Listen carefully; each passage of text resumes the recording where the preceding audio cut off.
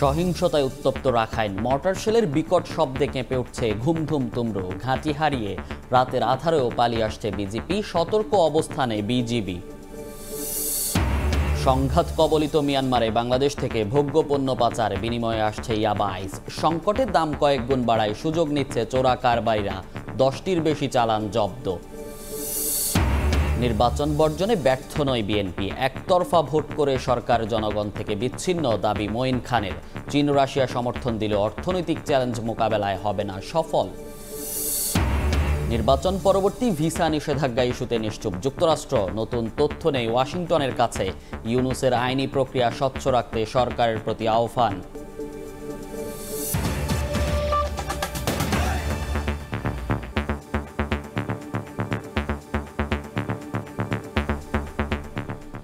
সকালের সময় সঙ্গে আছি আমি মনির হোসেন। সহিংসতার সংঘাতে উত্তপ্ত রাখাইনের পরিস্থিতি। মিয়ানমারের বিদ্রোহী গোষ্ঠী আরাকান আর্মির সঙ্গে পেরে উঠছে না দেশটির সীমান্তরক্ষী বাহিনী বিজিপি। একের পর এক বিওপির দখল হারিয়ে পাগল প্রায় সীমান্তরক্ষী বাহিনী বিজিপি পালিয়ে ঢুকে পড়ছে বাংলাদেশে। আর মিয়ানমারের ছোঁড়া গোলার আঘাতে বাংলাদেশি এক নারী সহ দুইজন নিহত হওয়ার পরও সীমান্তের বাসিন্দারা নিরাপদ আশ্রয়ে যাচ্ছে না। বরং গোলাগুলি মটর শেলের শব্দ ও হেলিকপ্টার থেকে গুলি ছোঁড়া দেখতে ছুটে আসছেন সীমান্তের সন্নিকটে। মোহাম্মদ ফরাজের ক্যামেরায় বিস্তারিত জানাচ্ছেন সুজাউদ্দিন রুবেল। you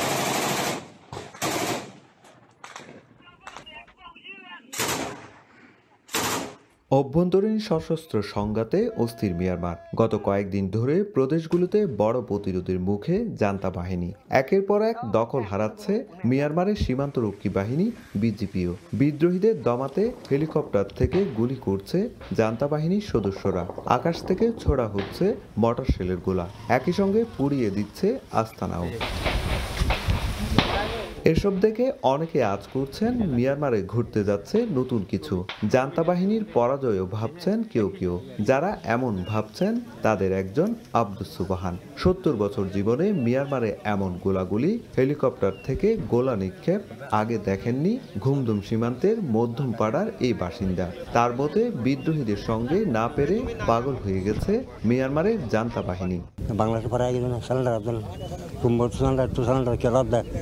তা বাঁচাবো ফেট বাঁচাবো না হলে আয় দিয়ে গরিবার শুধু আব্দুস সুবাহান নন সীমান্তের অনেক বাসিন্দা বলছেন পাগল ও দেউলিয়ার মতো হয়ে বাংলাদেশে ঢুকে পড়ছে মিয়ানমারের সীমান্তরক্ষী বাহিনী বিজেপি। বিরোধী পার্টি যেগুলা যুদ্ধ করতেছে ওরা দখল করে নিয়েছে। তো এখন নিজ মানে ওরা ওখানে এসে সরাসরি কোনো ধরনের হামলা করতে পারতেছে না, তারা আকাশপথে হামলা করতেছে হেলিকপ্টার নিয়ে। ওরা আসলে এমন পাগল হয়ে গেছে, দেউলিয়ার মতো হয়ে গেছে। ওদের কারণে আমাদের দেশের অভ্যন্তরীণ ক্ষতি হচ্ছে। এদিকে সীমান্তের ওপারের এমন সংঘাত নিয়ে চিন্তিত হলেও আবাসস্থল থেকে সরতে নারাজ অনেক বাসিন্দা। মিয়ানমারের ছোড়া গোলার আঘাতে দুজনের মৃত্যুর পরও অনেকে নিরাপদ আশ্রয়ে যাচ্ছেন না। বিজিবি ও র্যাবের নির্দেশও মানছেন না তারা। বরং মিয়ানমারের ছোড়া গোলাগুলি মটরশেলের গোলা নিক্ষেপ ও হেলিকপ্টার থেকে ছোড়া গুলি দেখতে ভিড় করছেন সীমান্তের সন্নিকটে। সীমানার দুশো ফিটের মধ্যে আমার বাসা তো আমরা বাসা ছেড়ে কোথায় যাব? আমাদের এখনও পর্যন্ত কোনো ধরনের নির্দেশ দেওয়া হয়নি কোথাও চলে যেতে। মায়ানমারে বিভিন্ন ধরনের গিয়া হচ্ছে আরকান আর্মি এবং মগের সাথে। আমরা শুনতেছি শোনার পর দেখতে আসলাম আর কি। বিজিবি যত যতটুকু জায়গার মধ্যে আমাদেরকে মানে সীমানা দিচ্ছে না যাওয়ার জন্য আমরা অতটুকুই যাচ্ছি। সীমান্তের বাসিন্দাদের সচেতন থাকার পাশাপাশি সীমান্তে ভিড় না করতে আহ্বান জানিয়েছেন বিজিবির রিজিয়ন কমান্ডার। সাধারণ জনগণ যেন সচেতন থাকে এবং বর্ডার এলাকা মধ্যে যেন জমায়েত না হয় এবং সবাই যেন নিরাপদ দায়িত্বে সবাই থাকে এ ব্যাপারে সবাই একটু লক্ষ্য রাখবেন। এরই মধ্যে মিয়ানমার থেকে পালিয়ে আশ্রয় নেওয়া সীমান্তরক্ষী বাহিনী বিজিবির আহত পনেরো সদস্যকে চিকিৎসা প্রদান করছে বিজিবি। গোলাগুলি ও গোলাবর্ষণ হচ্ছে কিন্তু তারপরও সচ্ছে না সীমান্তের বাসিন্দারা। তাই তাদের সরাতে প্রশাসনকে কার্যকর ব্যবস্থা নেওয়ার দাবি সংশ্লিষ্টদের। বাংলাদেশ মিয়ানমার সীমান্ত থেকে সুজাউদ্দিন রুবেল সময় সংবাদ। এই মুহূর্তে বান্দরবানের ঘুমধুম সীমান্তে আছেন রিপোর্টার সুজাউদ্দিন রুবেল সরাসরি যাচ্ছি তার কাছে। সীমান্তে নতুন নতুন জায়গায় গোলাগুলি শুরু হয়েছে। তবে গতকাল যে গোলাগুলি হয়েছে, তার চেয়ে আজকে সকাল থেকে গোলার যে গোলাগুলি কিংবা মোটরশেলের যে গোলা বিস্ফোরণ, সেটি কিন্তু বেড়ে চলেছে। তবে গতকাল যে সীমান্তে তুমব্রুর লেফট, যেটি ডেকুবুনিয়া ভিউপি বলা হচ্ছে, সেখানে গোলাগুলি হয়েছে। আজকে নতুন করে আবার মণ্ডলপাড়া এবং নয়াপাড়া, যেটি বলা হচ্ছে, উখিয়া সীমান্তে, বালুখালী। সেই জায়গায় আসলে গোলাগুলিতে বেশি হচ্ছে আমরা সকাল থেকে আসলে এখানে গুলো- গুলির মোহর মোহর যে শব্দ সেই শব্দগুলো শুনতে পাচ্ছি। এরই মধ্যে নয়াপাড়া এবং মণ্ডলপাড়া থেকে বেশ কিছু মানুষজন তারা ঘর বাড়ি ছেড়ে এখন রাস্তায় অবস্থান নিয়েছে। রাস্তায় যারা অবস্থান নিয়েছে আসলে তাদেরকে দেখতে পাচ্ছেন। আমরা তাদের কয়েকজনের সঙ্গে কথা বলেছি। তারা বলছেন সীমান্তে নতুন নতুন জায়গায় এখন গোলাগুলি শুরু হয়েছে। সেটি সময়ের সঙ্গে সঙ্গে পরিধি বাড়ছে। বিশেষ করে আমরা ঘুমদুম আহ, প্রাথমিক সরকারি প্রাথমিক বিদ্যালয় রয়েছে। সেই প্রাথমিক বিদ্যালয়ে যে গোলাগুলির কারণে গত কয়েকদিন ধরে আসলে যে গেটের যে তালাবদ্ধ রয়েছে, আর মোহর মোহর যে গোলার যে শব্দ মোটরশেলের যে গোলার শব্দ, সেটি আসলে ভেসে আসছে। একইভাবে যদি বলতে হয় যে ঠিক সকাল চারটার দিকে বেশ গোলাগুলি বাড়তে থাকে এবং কিছুক্ষণ আগে এই যে পথটি রয়েছে, ঘুন্দুম সরকারি প্রাথমিক বিদ্যালয়ের পাশে যে সড়কটি রয়েছে, সেই সড়ক দিয়ে মিয়ানমার সীমান্তরক্ষী বাহিনী বিজিপি চারজন সদস্য নতুন করে পালিয়ে বাংলাদেশে চলে আসে এবং তাদেরকে আশ্রয় দেওয়া হয়েছে। নিরাপদ আশ্রয় রাখে, রেখেছে সীমান্তরক্ষী বাহিনী বিজিবি। তো এরই মধ্যে আসলে যে মোহর মোহর, যে গুলির শব্দ এবং যে গোলার শব্দ, সেই শব্দে কিন্তু একদিকে শীতে যেমন মানুষ কাঁপছে, ঠিক তেমনি মানুষজন সীমান্তের যে এলাকা রয়েছে ঘুন্দুম তুমরু এবং পাশাপাশি উখিয়ার যে বালুখালী সীমান্ত রয়েছে, সেই সীমান্তগুলো আসলে বেশ কাঁপছে। যে গোলার বিস্ফোরণে আসলে মানুষজন খুব আতঙ্কিত। তারা বলছেন আসলে তারা এই পরিস্থিতি থেকে কবে রক্ষা পাবে সেটি এখনও আসলে বলতে পারছে না। তবে বিজিবির পক্ষ থেকে আমাকে সর্বশেষ কিছুক্ষণ আগে জানানো হয়েছে, এই পর্যন্ত একশো তেরো জন, একশো তেরো জন মিয়ানমারের সীমান্তরক্ষী বাহিনী বিজিপি বাংলাদেশে পালিয়ে এসে আশ্রয় নিয়েছে। তাদেরকে বাংলাদেশের সীমান্তরক্ষী বাহিনী বিজিবি চিকিৎসা দিচ্ছেন এবং পাশাপাশি আরও বেশ কিছু গুলিবিদ্ধ হয়েছেন সীমান্তরক্ষী বাহিনী। বিজেপির বেশ কিছু সদস্য গুলিবিদ্ধ হয়েছে। বিশেষ করে পনেরো জন মতো এখন চিকিৎসাধীন রয়েছে। তারা কক্সবাজার সদর হাসপাতাল সহ উখিয়ার যে অন্যান্য যে হাসপাতালগুলো রয়েছে, সেই হাসপাতালগুলোতে তারা চিকিৎসা দেওয়া হচ্ছে বিজিবির পক্ষ থেকে এবং তাদেরকে খাবার দাবার থেকে শুরু করে সব ধরনের যে কার্যক্রমগুলো সেটি করা হচ্ছে। তবে গতকাল আমরা সীমান্তরক্ষী বাহিনী বিজিবির কক্সবাজারের যে রিজিয়ন কমান্ডার রয়েছে, ব্রিগেডিয়ার জেনারেল মু- আহ, আলম তিনি আমাদেরকে জানিয়েছেন যারা আসলে বাংলাদেশে পালিয়ে এসেছে তাদেরকে আশ্রয় দেওয়ার পর তাদেরকে কীভাবে ফেরত পাঠানো হবে সেই প্রক্রিয়া আসলে এখন চলছে এবং তাদেরকে মন্ত্রণালয় কিংবা রাষ্ট্রীয়ভাবে যে সিদ্ধান্ত হবে সেই সিদ্ধান্ত মোতাবেক তাদেরকে মিয়ানমারে কর্তৃপক্ষকে হস্তান্তর করা হবে বলে আমাদেরকে জানিয়েছে। তবে এখন পর্যন্ত সীমান্তে মানুষের যে আতঙ্ক সেটি কাটেনি এবং মানুষজন কিছু মানুষ আতঙ্কগ্রস্ত হয়ে এলাকা ছাড়ছে আবার অনেকে উৎসুক জনতা সীমান্তের কাছাকাছি গিয়ে ভিড় করছে। তো এই ছিল আমার কাছে ঘুন্দুম সীমান্ত থেকে সবশেষ। সীমান্তের সবশেষ খবর জানতে সরাসরি যুক্ত ছিলাম বান্দরবানের ঘুমধুম সীমান্তে। সংঘাত কবলিত মিয়ানমারের আরাকান রাজ্যে বাংলাদেশ থেকে জ্বালানি তেল সহ চাল ডালের মতো নানা ভোগ্যপণ্য পাচার হয়ে যাচ্ছে বলে অভিযোগ উঠেছে। ভোগ্যপণ্যের বিনিময়ে মিয়ানমার থেকে আসছে ইয়াবা এবং আইস। মূলত সংকটের মুখে মিয়ানমারে তেল ও ভোগ্যপণ্যের দাম বাংলাদেশের তুলনায় দশ গুণ বেড়ে যাওয়ায় সুযোগ নিচ্ছে সীমান্তের চোরা কারবারিরা। শাখত টিপুর ক্যামেরায় বিস্তারিত জানাচ্ছেন কমল দে। একদিকে বাংলাদেশের কক্সবাজার জেলার টেকনাফ, মাঝে নাফ নদী, অপর প্রান্তে মিয়ানমারের রাখাইন রাজ্য।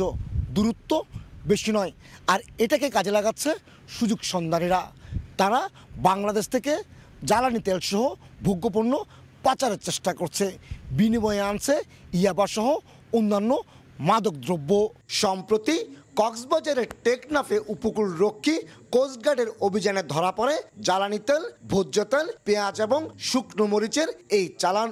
বাংলাদেশ থেকে মিয়ানমারে পাচার হচ্ছিল এসব ভোগ্য পণ্য এটি একমাত্র ধরা পড়া চালান নয়। গত কয়েক মাসে এ ধরনের দশটির বেশি চালান জব্দ করেছে বিজিবি এবং কোস্টগার্ড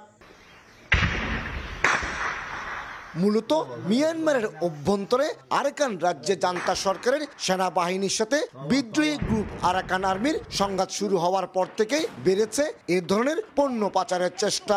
বিশেষ করে বাংলাদেশের একশো টাকা মূল্যের জ্বালানি তেল মিয়ানমারে বিক্রি হচ্ছে এক হাজার টাকা দরে। একইভাবে সব পণ্যের দাম সেখানে বাড়তি হয় সুযোগ নিচ্ছে পাচারকারীরা।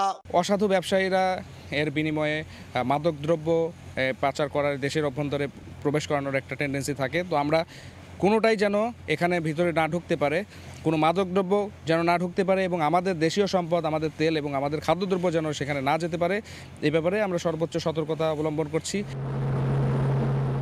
স্থানীয়দের তথ্য অনুযায়ী বাংলাদেশ থেকে জ্বালানি তেল এবং ভোগ্যপণ্য পাচার হলো, তার পরিবর্তে নিয়ে আসা হচ্ছে ইয়াবা এবং ভয়ঙ্কর মাদক আইসের চালান।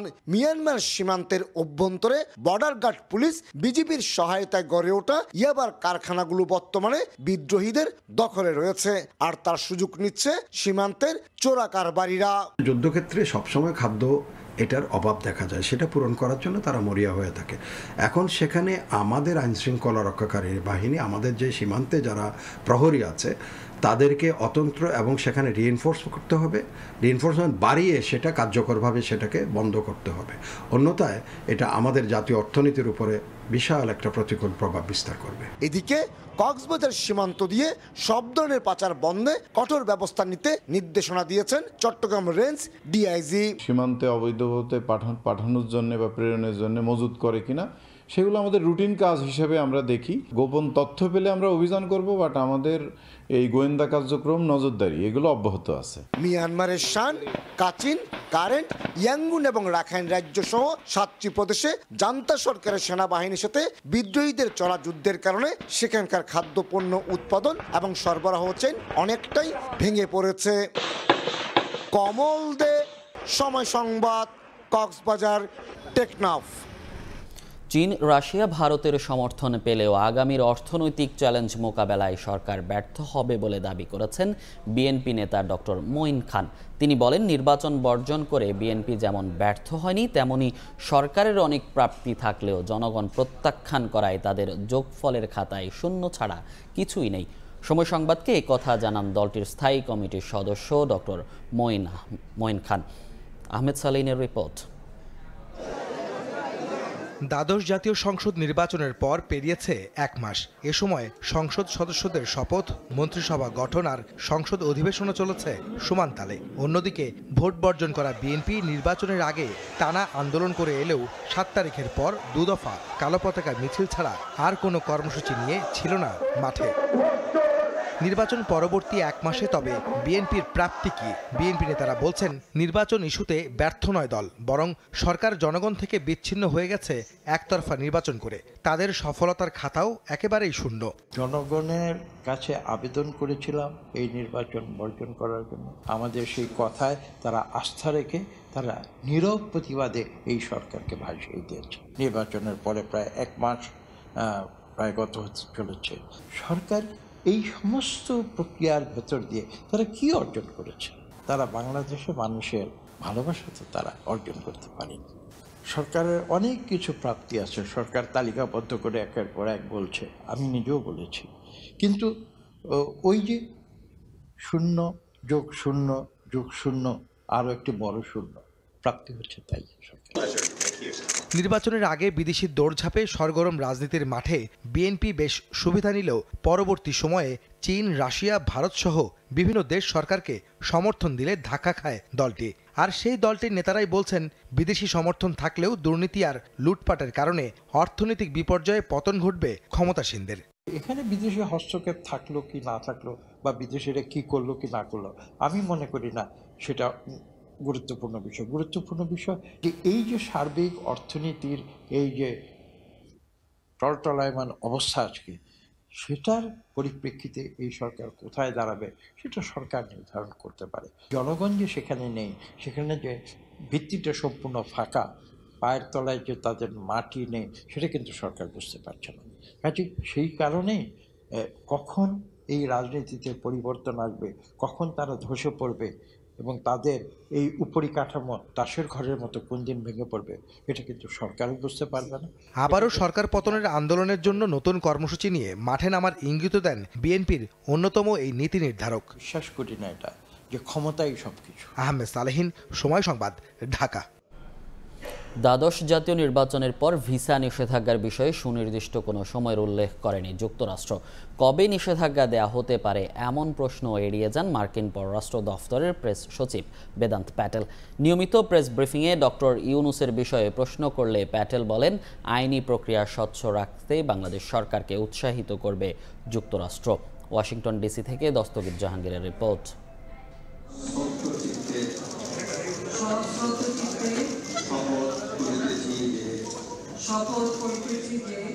গেল সাত জানুয়ারি বাংলাদেশে অনুষ্ঠিত হয় দ্বাদশ জাতীয় সংসদ নির্বাচন।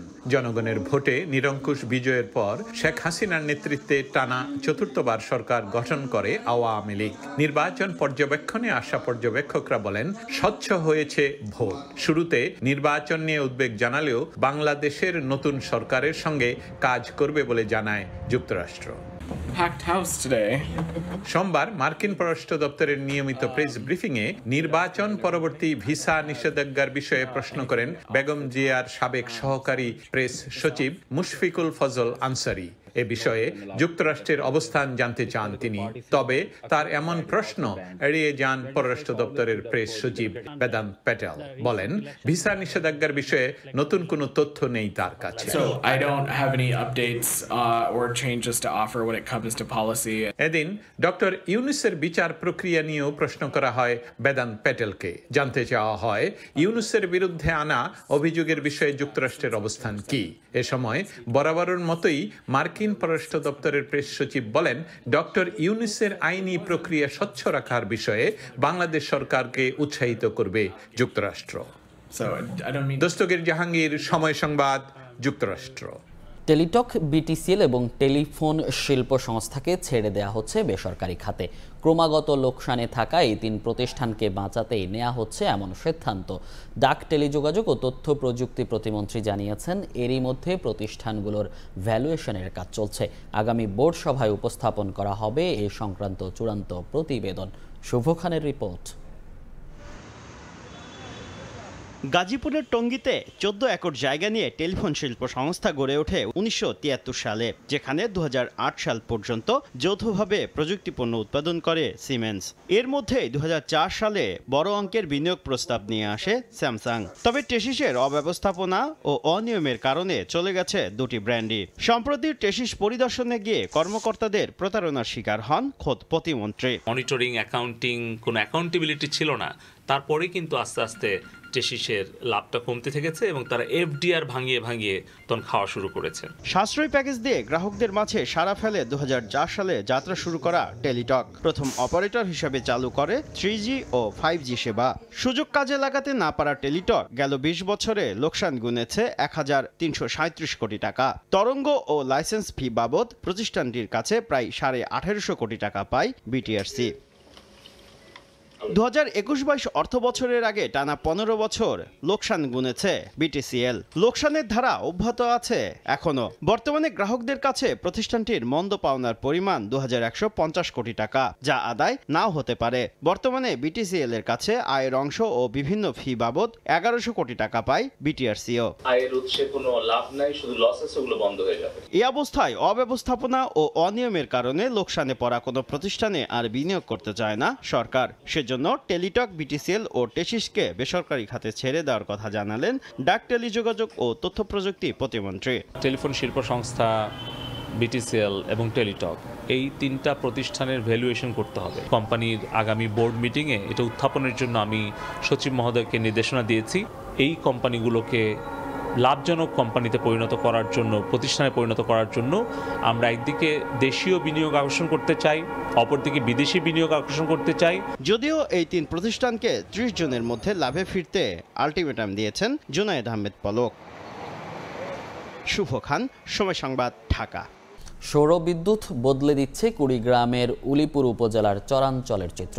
দৈনন্দিন কাজের পাশাপাশি অর্ধেকের কম খরচে সেচ দিচ্ছেন স্থানীয় কৃষকেরা।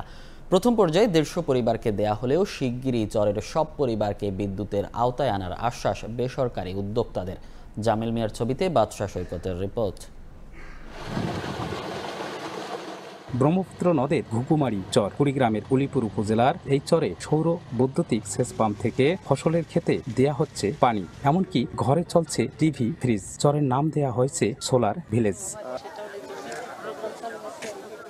ছয় মাস আগে চরের দেড়শো পরিবারকে সোলার প্যানেলের মাধ্যমে দেয়া হয় বিদ্যুতের সুবিধা। এখন দৈনন্দিন সব কাজেই বিদ্যুৎ ব্যবহার করছেন উপকার ভোগীরা এতে খুশি তারা। সোলার কারেন্ট দিছে এটাতেও সুযোগ সুবিধা আছে চর এলাকায় আমরা কৃষকের মেলা উপকার হয়েছি আমরা কোনদিন ভাবি নাই যে এরকম আমাদের একটা সুবিধা দিবে। কারেন্ট আমরা জীবনে কারেন্ট আসতো না এখন কারেন্ট দিছে। শীত পাওয়াতে আমাদের ভালোই উপকার হব। আগ- আগে লাগছে বিশ হাজার টাকা খরচ এখন লাগবো এ করে পাঁচ ছয় হাজার হইলে আমাদের এ করে হব। বেসরকারি একটি ব্যাংকের অর্থায়নে সৌর প্যানেল স্থাপন করে একটি বেসরকারি উন্নয়ন সংস্থা। শিগগিরই চরের সব পরিবারকে বিদ্যুতের আওতায় আনার আশ্বাস তাদের। এই সোলার ভিলেজের মাধ্যমে আমরা দুইটা ইরিগেশন পাম্প স্থাপন করা হয়েছে যারা কিনা আটটা আমাদের ডিজেল পাম্পকে রিপ্লেস করেছে। যেখানে ফসিল ফুয়েলের খরচটা বাঁচাইতে বা বৈদেশিক মুদ্রা সহায়তায় এখানে সহায়তা করতেছে। আমরা দেখছি অবশ্যই ওনাদের লাইফে একটা অনেক পজিটিভ ইম্প্যাক্ট এসছে। সুতরাং ওনারা আগে যেখানে আহ, হয়তো আহ, মোমবাতি বা ল্যাম্পের আলোতে পড়াশোনা করতো তাদের বাচ্চারা এখন যত রাত পর্যন্ত চায় তারা রাতে বিদ্যুতের আলোতে পরিষ্কার পড়াশোনা করতে পারে। চরটিতে বর্তমানে সাড়ে চারশো পরিবার বসবাস করছে। একশো বিরানব্বইটি সৌর প্যানেলে প্রতিদিন উৎপন্ন হচ্ছে তিনশো মেগাওয়াট বিদ্যুৎ। নিরবচ্ছিন্ন সুবিধা নিশ্চিত করতে বসানো হয়েছে একশো তিরিশ আম্পায়ারের একশো পঁচানব্বইটি ব্যাটারি। বাদশাহ সৈকত, সময় সংবাদ, কুড়িগ্রাম। জাহাঙ্গীরনগর বিশ্ববিদ্যালয়ে স্বামীকে আবাসিক হলে আটকে রেখে স্ত্রীকে ধর্ষণের ঘটনায় এবার নড়ে চড়ে বসেছে প্রশাসন। বিভিন্ন হলে থাকা প্রায় আড়াই হাজার সাবেক শিক্ষার্থীকে পাঁচ কর্মদিবসের মধ্যে হল ছাড়ার নির্দেশ দিয়েছে বিশ্ববিদ্যালয় কর্তৃপক্ষ। এ বিষয়ে জানাতে জাহাঙ্গীরনগর বিশ্ববিদ্যালয় থেকে সরাসরি যুক্ত হচ্ছেন রিপোর্টার মোজাফফর হোসাইন জয়। জাহাঙ্গীরনগর বিশ্ববিদ্যালয়ে যে স্বামীকে আটকে রেখে স্ত্রীকে ধর্ষণের যে ঘটনা, সেই ঘটনার চার দিন পেরিয়ে গিয়েছে। ইতিমধ্যেই কিন্তু জাহাঙ্গীরনগর বিশ্ববিদ্যালয়ে গত দু তিন দিন আমরা দেখেছি উত্তাল ছিল। একই সাথে কিন্তু জাহাঙ্গীরনগর বিশ্ববিদ্যালয়ের শিক্ষার্থীদের এবং শিক্ষকদের দাবির মুখে কিন্তু জাহাঙ্গীরনগর বিশ্ববিদ্যালয় প্রশাসন বিভিন্ন পদক্ষেপ গ্রহণ করেছে। ইতিমধ্যেই যে ধর্ষণের মূল হোতা মুস্তাফিজুর রহমান আটক হয়েছে, তাকে তিন দিনের রিমান্ডে নিয়ে এসেছে আশুলিয়া থানা পুলিশ। একই সাথে কিন্তু আরও দুইজন আসামি এখনও আটক হয়নি, তাদেরকে ধরতে প্রশাসনের পক্ষ থেকে অভিযান চলছে বলে আমাদেরকে জানিয়েছেন। আমরা যতটুকু জানতে পেরেছি, কালকে একটি নির্দেশনা জাহাঙ্গীরনগর বিশ্ববিদ্যালয়ের প্রশাসনের পক্ষ থেকে দেওয়া হয়েছে। সেটি হচ্ছে যে জাহাঙ্গীরনগর বিশ্ববিদ্যালয়ে যে ট্রেডিশন চলে আসছিল দীর্ঘদিন ধরে বহিরাগত শিক্ষার্থীদের অবস্থান, অর্থাৎ আমরা জাহাঙ্গীরনগর বিশ্ববিদ্যালয় প্রশাসনের পক্ষ থেকে কালকে জানতে পেরেছি যে এখানে প্রায় আড়াই হাজারের মতো বহিরাগত শিক্ষার্থী রয়েছে, যাদের শিক্ষা জীবন এখানে শেষ হয়ে গিয়েছে। তারা দীর্ঘদিন ধরে জাহাঙ্গীরনগর বিশ্ববিদ্যালয়ের বিভিন্ন ক্যাম্পাসে অবস্থান করছেন। ফলে যারা মূলধারা শিক্ষার্থী রয়েছে, তারা কিন্তু বিশ্ববিদ্যালয় ক্যাম্পাসে থাকার সুযোগ পাচ্ছে না। সেই দিক থেকে কিন্তু জাহাঙ্গীরনগর বিশ্ববিদ্যালয় প্রশাসন পক্ষ থেকে এবং সাধারণ শিক্ষার্থীদের দাবির পরিপ্রেক্ষিতে কিন্তু একটি কঠোর কঠোর নীতিগত সিদ্ধান্ত গ্রহণ করা হয়েছে। বলা হয়েছে যে, যারা এখনও পর্যন্ত জাহাঙ্গীরনগর বিশ্ববিদ্যালয়ের বিভিন্ন হলে অবস্থান করছেন, তাদেরকে অবশ্যই কাজ কার্য দিবসের মধ্যে বিশ্ববিদ্যালয় ত্যাগ করতে হবে এবং সাধারণ শিক্ষার্থীদের জন্য বিশ্ববিদ্যালয়ের যে আবাসন হলগুলো রয়েছে, সেগুলোকে উন্মুক্ত করে দিতে হবে। একই সাথে কিন্তু বহিরাগতদের যে এখানে আগমন, সেই আগমন সম্পূর্ণভাবে নিষিদ্ধ করা হয়েছে। জাহাঙ্গীরনগর বিশ্ববিদ্যালয়ের প্রশাসনের পক্ষ থেকে গত রাতে কিন্তু একটি, আরেকটি মামলা দায়ের করা হয়েছে বিশ্ববিদ্যালয়ের পক্ষ থেকে। সেখানে কিন্তু সমস্ত অভিযোগের বিষয়টি বর্ণনা করে প্রশাসনকে জানানো হয়েছে। যদিও ইতিপূর্বে জাহাঙ্গীরনগর আহ, বিশ্ববিদ্যালয় বাদেও কিন্তু যে গৃহবধূর যে স্বামী তিনি কিন্তু আশুলিয়া থানা মডেল থানায় একটি মামলা দায়ের করেছিলেন পাঁচজনের বিরুদ্ধে এবং সেই মামলা মোতাবেক কিন্তু এখনও পর্যন্ত দুইজন আসামিকে প্রশাসন আটক করতে পারেনি। তার মধ্যে অবশ্যই মামুন বহিরাগত অবস্থান রয়েছেন তাকেও আটক করতে পারেনি। তাদের ধরতে অভিযান চলছে বলে প্রশাসনের পক্ষে দাবি করা হচ্ছে। তো জাহাঙ্গীরনগর বিশ্ববিদ্যালয় থেকে স্বামীকে আটকে স্ত্রীকে ধর্ষণের এই ছিল সর্বশেষ পরিস্থিতি সম্পর্কে ঘটনা। সরাসরি যুক্ত ছিলাম জাহাঙ্গীরনগর বিশ্ববিদ্যালয়ে। পাবনায় আশ্রয়ণ প্রকল্পে এক গৃহবধূকে ধর্ষণের ঘটনা ঘটেছে। ভুক্তভোগী ও তার স্বজনদের অভিযোগ, স্থানীয় ইউনিয়ন পরিষদের চেয়ারম্যান অভিযুক্তকে আইনের হাতে তুলে না দিয়ে নিজেই করেছেন ধর্ষণের মীমাংসা। ধর্ষকের কাছ থেকে সুবিধা নিয়ে ভুক্তভোগীদেরকে দিয়েছেন এক হাজার টাকা। এই ঘটনায় এলাকা জুড়ে চলছে নানা সমালোচনা। আসিফ মাহমুদের ছবিতে সবুজ মোল্লার রিপোর্ট।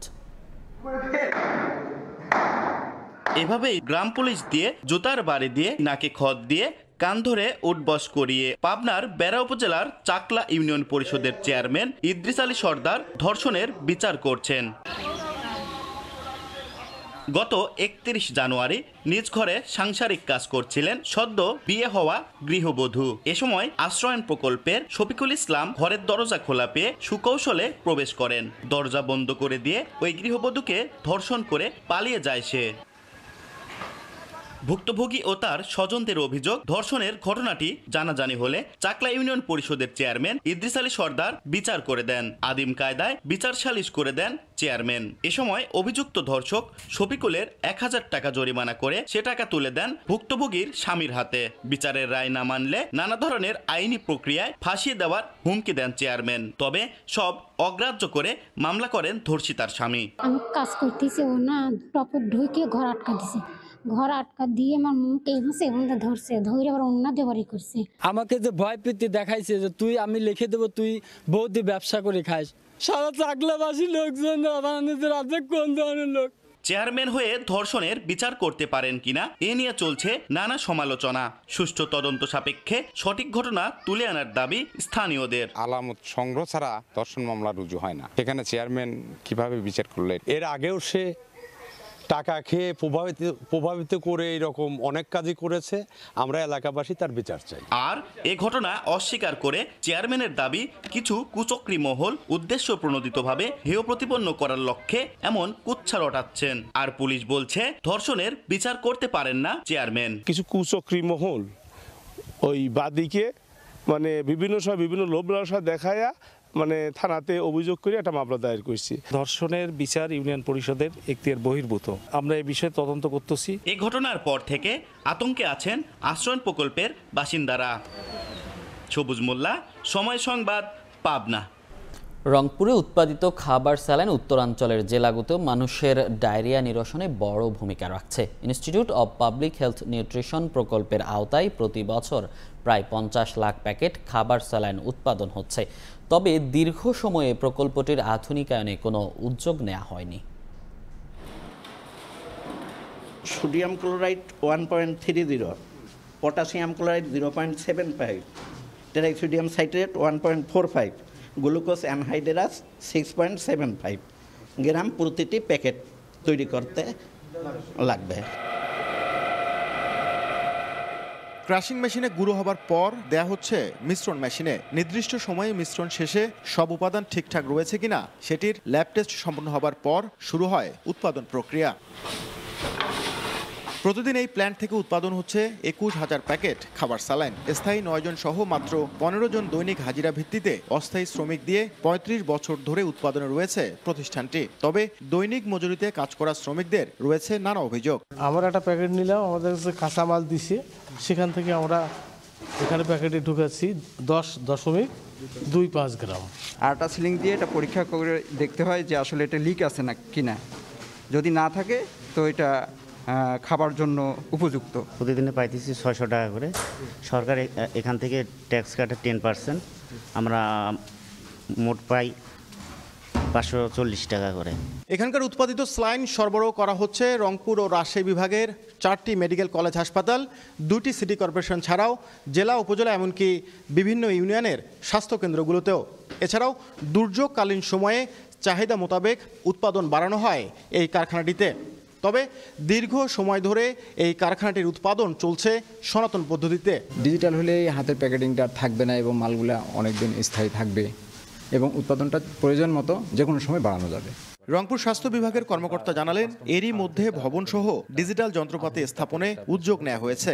উৎপাদনের ঘাটতি বা মেশিনের কোন ত্রুটি যাতে না হয় এবং এটা মান সব মানটা যেন বজায় থাকে। তাদেরকে আমরা প্রস্তাবনা দিয়েছি যে এরকম ঢাকার বাইরে যে প্রতিষ্ঠানগুলো আছে, এখানে যে একটু আধুনিকায়ন করা সম্ভব হয় কিনা। আইপিএইচএন এর একটি প্রকল্পের আওতায় উনিশশো সাল থেকে রংপুর সদর হাসপাতালে খাবার, স্যালাইন উৎপাদন ও সরবরাহ প্রকল্পটি যাত্রা শুরু করে। সংশ্লিষ্টরা জানান, শুধু রংপুর ও রাজশাহী বিভাগেই নয়, প্রয়োজনে চাহিদা অনুযায়ী দেশের বিভিন্ন সরকারি প্রতিষ্ঠানে সরবরাহ করা হয় এখানকার উৎপাদিত স্যালাইন।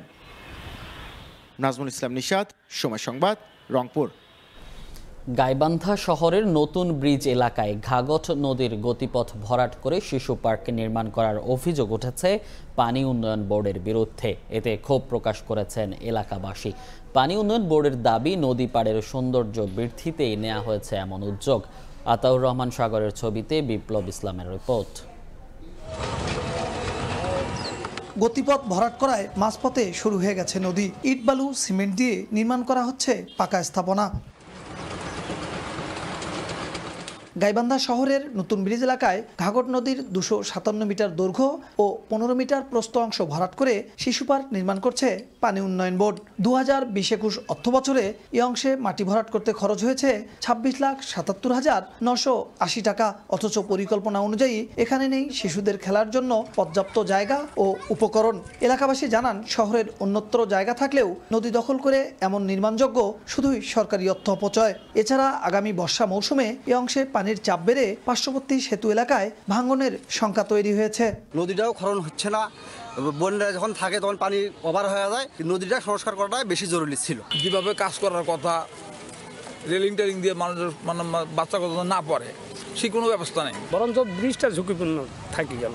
পানিটা এখানে এসে স্রোত হবে এবং বান্ধের জন্য ক্ষতি হলো। এখানে বাচ্চা কাচ্চার কোনো খেলার পরিবেশ নেই কোনো কিছু নেই চিকন করে একটু ড্রেনের মতন বান্ধি হয়ে গেছে খামাকা ঠিকাদারদের পকেট বোঝাই। পরিবেশবাদীদের মতে সরকার যখন নদী দখলমুক্ত করতে নানা উদ্যোগ নিচ্ছে তখন পানি উন্নয়ন বোর্ড ঘাগট নদী ভরাট করছে দ্রুত পার্ক নির্মাণ বন্ধের দাবি তাদের। শিশু পার্কের নামে টাকা লুটপাট ছাড়া কিছু নয় গাইবান্ধা অনেক অনেক বড় বড় জায়গা আছে শিশু পার্ক করা যেতে পারে। তবে পানি উন্নয়ন বোর্ডের দাবি নাব্য ঠিক রেখেই তীরে মাটি ভরাট করা হয়েছে শহরের সৌন্দর্য বর্ধনের জন্য এমন উদ্যোগের কথা জানান বিভাগের নির্বাহী প্রকৌশলী। গতিপথ বাধা রেখে আসলে করা হচ্ছে বিষয়টা এরকম না। আসলে ঘাগর নদীর যে আসলে ম্যাক্সিমাম ডিসচার্জ যেটা আর কি যে তার যে নাব্যতা আর কি সেই নাব্যতা ঠিক রেখেই এই কাজটা করা হচ্ছে আর কি। শিশু পার্কে নির্মাণ করা হয়েছে শুধু ছয়টি সিট ব্রেঞ্চ তিনটি সেটিং চেয়ার একটি ওয়াকওয়ে একটি সিঁড়ি ও একটি গেট প্রকল্পে ব্যয় ধরা হয়েছে একাত্তর লাখ নব্বই হাজার পাঁচশো পঁয়ষট্টি টাকা। বিপ্লব ইসলাম, সময় সংবাদ, গাইবান্ধা। দীর্ঘদিন সংস্কার না করায় চলাচলে অনুপযোগী হয়ে পড়েছে নীলফামারীর সৈয়দপুর পৌরসভার প্রধান তিনটি সড়ক। কার্পেটিং ও ইটের খোয়া উঠে তৈরি হয়েছে গর্ত। বাধ্য হয়ে অনেকেই বিকল্প পথে যাতায়াত করছেন চার থেকে ছয় কিলোমিটার ঘুরে। ভোগান্তি কমাতে দ্রুত সংস্কারের দাবি এলাকাবাসীর। মোহাম্মদ সোহেলের ছবিতে শাকির হোসেন বাদলের রিপোর্ট। খানাখন্দে ভরা সড়কে ঝুঁকি নিয়ে হেলে দুলে চলছে যানবাহন। উঠে গেছে কার্পেটিং, তৈরি হয়েছে গর্ত। প্রায় ঘটছে দুর্ঘটনা, এমনকি বিকল হচ্ছে যানবাহন।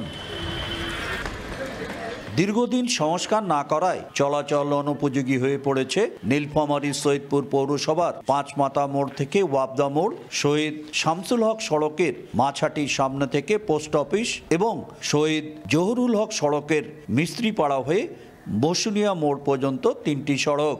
বাণিজ্যিক এলাকা হওয়ায় স্থানীয়দের পাশাপাশি সড়কগুলোতে ভোগান্তিতে পড়েন ব্যবসায়ীরাও। পৌরবাসীর অভিযোগ বারবার আশ্বাস দেওয়া হলেও দীর্ঘদিনেও করা হয়নি সংস্কার। যখন তখন আমাদের গাড়ি ভাঙচুর হয় এটা হয় ওটা হয় আমরা চলাচল করতে পারি না। এই রাস্তাগুলো আমাদের গাড়ি যতটুকু কামাই অর্জন করি তার চেয়ে বেশিরভাগ মেরামত করতে যায়। এই রাস্তার মধ্যে মানুষের অনেক অ্যাক্সিডেন্ট হয়ে যাচ্ছে। এই খারাপ রাস্তাটার কারণে অনেক জ্যাম হয় তো আমাদের কলেজে যেতে লেট হয়ে যায়। তবে প্রকল্প একনেকে অনুমোদন পেলে আগামী দুই মাসের মধ্যে সংস্কারের কাজের আশ্বাস পৌর কর্তৃপক্ষের। মোটামুটিভাবে একটা কনফার্মেশনে দিয়ে গেছে, ভাই এতদিন যেহেতু জনগণ দুর্ভোগ করছে, আর মাত্র দুইটা মাস যদি অপেক্ষা করে তাহলে হয়তো ভালো একটা জিনিস পাবে আর কি। ইনশাল্লাহ আমরা দুই মাসের মধ্যে এই কাজটাতে হাত দিব। সেই জন্য আমি মেনটেনেন্সে যাচ্ছি না।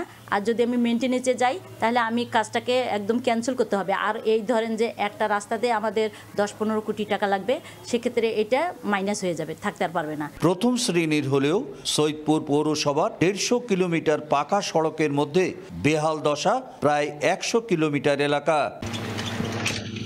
খানাখন্দে ভরা সড়কে চরম দুর্ভোগে পৌরবাসী। আর নয় প্রতিশ্রুতি চায় প্রকল্পের দ্রুত বাস্তবায়ন। শাকির হোসেন বাদল, সময় সংবাদ, সৈয়দপুর, নীলফামারী।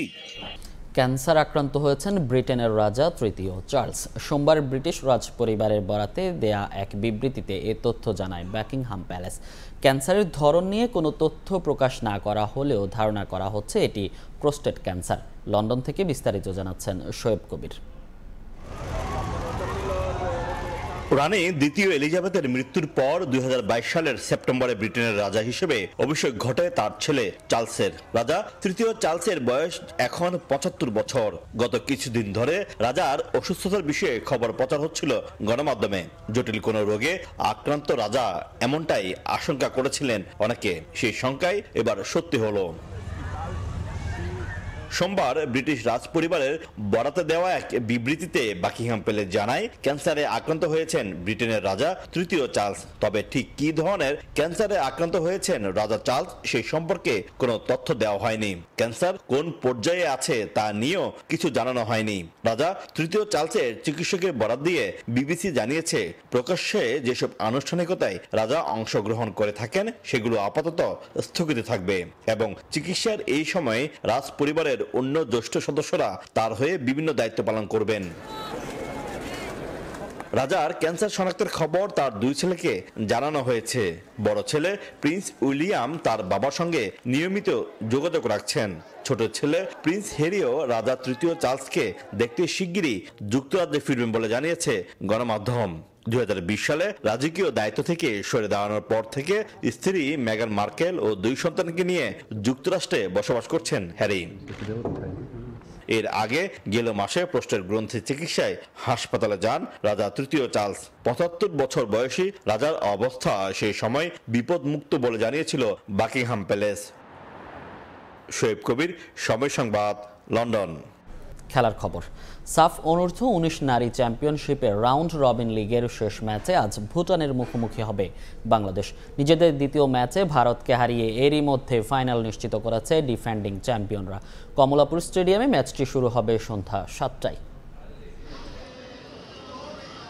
সাফ অনূর্ধ্ব উনিশ নারী চ্যাম্পিয়নশিপে নেপালের বিপক্ষে প্রথম ম্যাচ, জয়ের পর দ্বিতীয় ম্যাচেও বাজিমাত করেছে বাংলাদেশ। শেষ মুহূর্তের গোলে ভারতকে হারিয়ে ফাইনালের টিকিট নিশ্চিত করেছে সাইফুল বাড়ি টিটুর দল। এই জয় আত্মবিশ্বাস জুগিয়েছে পুরো দলকে। ভারতের বিপক্ষে ম্যাচ শেষে দলকে বিশ্রাম দেওয়ার আভাস দিয়েছিলেন বাংলাদেশের কোচ। হলেও তাই, ভুটানের বিপক্ষে নিয়ম রক্ষার ম্যাচের আগে নির্ধারিত অনুশীলন বাতিল করে বাংলাদেশ। টিম হোটেলে বিশ্রামে দিন পার করেছে সাগরিকা আফেইদারা। চলতি টুর্নামেন্টে এখন পর্যন্ত এগারো গোল হজম করেছে ভুটান। তাই দলটির বিপক্ষে বাংলাদেশও চাইবে নিজেদের গোল সংখ্যাটা বাড়িয়ে নিতে। প্রতিপক্ষ অপেক্ষাকৃত দুর্বল হওয়ায় এদিন সাইড বেঞ্চের শক্তিও পরীক্ষা করে দেখতে পারেন সাইফুল বাড়ি টিটু আর টানা খেলার দখল কিছুটা সামলে ফাইনালের জন্য নিজেদের প্রস্তুত করে নিতে চান নিয়মিত একাদশের ফুটবলাররা। এদিকে ভারত ও নেপালের বিপক্ষে হেরে টুর্নামেন্ট থেকে ছিটকে গেছে ভুটান। তাই বাংলাদেশের বিপক্ষে ম্যাচটা শুধুই নিয়ম রক্ষার। প্রতিপক্ষ দুর্বল হলেও ম্যাচটি গুরুত্বপূর্ণ বাংলাদেশের জন্য। ভুটানের বিপক্ষে বড় জয় আত্মবিশ্বাস যোগাবে ফাইনালে। তাই পূর্ণ পয়েন্ট নিয়ে বড় ব্যবধানের জয়টা এখন লক্ষ্য বাংলাদেশের। ফাহিম ইসলাম, সময় সংবাদ। সিলেট পর্ব শেষে আবারও ঢাকায় বিপিএল। আজ দিনের প্রথম ম্যাচে শীর্ষে থাকা রংপুরের মুখোমুখি হবে ধুঁকতে থাকা দুর্দান্ত ঢাকা। শীর্ষস্থান ধরে রাখতে আপসহীন নুরুল হাসান সোহানের দল। সাকিবের ছন্দে ফেরার আশায় রংপুর। মিরপুরে ম্যাচ শুরু হবে বেলা একটা ত্রিশ মিনিটে। অনুশীলনে প্রিয় শিষ্যকে ছন্দে ফেরার তালিম দিচ্ছেন কোচ খালেদ মাহমুদ সুজন। কাঁধের সমস্যাটা দীর্ঘদিন ধরে ভোগাচ্ছে তাসকিন আহমেদকে। ভারতে ওয়ানডে বিশ্বকাপ খেলেছেন চোটের সঙ্গে লড়াই করে। এরপর বিসিবির মেডিকেল বিভাগের পরামর্শে বিশ্রামে যান বাংলার স্পিড স্টার। বিপিএল দিয়েই মাঠে ফিরেছেন, তবে এখনও সেরা ছন্দ খুঁজে পাননি। ওয়ার্কলোড কমাতে ঘরের মাঠে শ্রীলঙ্কার বিপক্ষে টেস্টও খেলবেন না তাসকিন। বিপিএলে তাসকিনের ফর্ম ভোগাচ্ছে ঢাকাকেও। এক জয়ের পর চার হার। তাসকিন শরীফুলদের মতো দেশ সেরা পেসার থাকার পরও ধুকছে ঢাকা। মূলত ইঞ্জুরিতে দলকে সেরাটা দিতে পারছেন না তাসকিন। খারাপ ভালো যে কোনো সময় ছাত্রদের পাশেই থাকেন সুজন। তার আশা ঢাকা পর্বেই জয়ে ফিরবে তার দল। আসরে পাঁচ ম্যাচে দশ উইকেট নিয়েছেন শরীফুল। প্রথম ম্যাচে হ্যাট্রিক করে দারুণ কিছুর আভাস দিলেও আগ্রাসী চেহারায় আর ধরা দিতে পারেননি এই পেসার। ব্যাটাররাও পারছেন না আস্থার প্রতিদান দিতে। তবে ঢাকা পর্বে ভালো কিছুর আশায় দুর্দান্ত ঢাকা। প্রতিপক্ষ রংপুর নিজেদের শেষ ম্যাচে সিলেট স্ট্রাইকার্সকে হারিয়ে পয়েন্ট টেবিলের শীর্ষে উঠেছে। তবে মোমেন্টাম পাওয়ার পরই দলকে ছন্দে ফেরানো বিদেশিদের চলে যাওয়ার খবর বিনা মেঘে বজ্রপাতের মতো রংপুরের কাছে। দুর্দান্ত ঢাকার বিপক্ষে এবারের বিপিএলে নিজের শেষ ম্যাচটা খেলবেন বাবর আজম। এনওসির মেয়াদ বাড়াতে না পারায় এই ম্যাচ শেষেই দেশে ফিরে যাবেন বাবর। একই দিন দেশ ছাড়বেন আফগান অলরাউন্ডার মোহাম্মদ নবীও। দল ছাড়ছেন হজরতুল্লাহ ওমর জাইও। তাদের শূন্যতা পূরণে ভ্যান্ডার ডুসেন ও ডোয়াইন প্রিটোরিয়াসদের আনছে মালিক পক্ষ। সাকিব ফর্মে না থাকলেও দলকে দারুণভাবে টেনে নিচ্ছেন শেখ মেহেদি হাসান। প্রতিপক্ষ ঢাকার সময় খারাপ গেলেও তাদের হালকাভাবে নিচ্ছেন না সাকিব সোহানরা। পারভিন আক্তার সময় সংবাদ ঢাকা। এ পর্যায়ে শীর্ষ সংবাদগুলো জানিয়ে দিচ্ছি আরেকবার।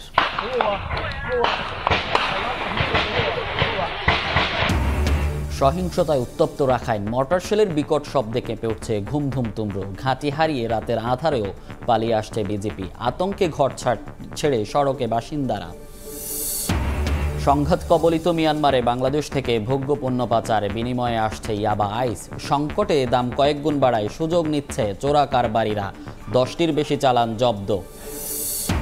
এবং নির্বাচন বর্জনে ব্যর্থ নয় বিএনপি। একতরফা ভোট করে সরকার জনগণ থেকে বিচ্ছিন্ন দাবি মঈন খানের। চীন রাশিয়া সমর্থন দিলে অর্থনৈতিক চ্যালেঞ্জ মোকাবেলায় হবে না সফল। এ ছিল সকালের